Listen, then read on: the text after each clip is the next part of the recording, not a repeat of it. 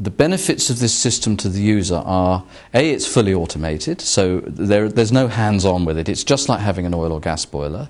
The technical benefits are that we can get this system to modulate fully, like a gas boiler, and also to cycle. In other words, it goes on and off when it's not needed.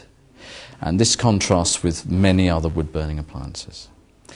The, the Okofen boiler range is five models. So we have two models which cater for really low energy buildings, eco homes, small offices, and then we go up to uh, large systems, uh, multiple boiler systems for, say, a high school sized building or, or a, a government office.